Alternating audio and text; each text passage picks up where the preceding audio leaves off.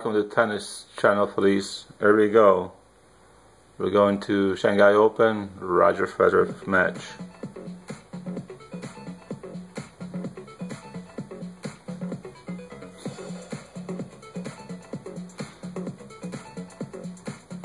This is the last point.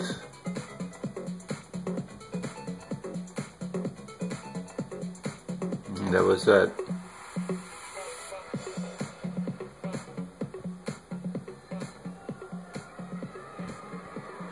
Go cool uh, camera angle.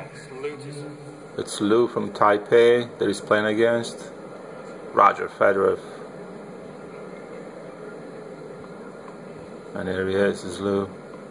6-3.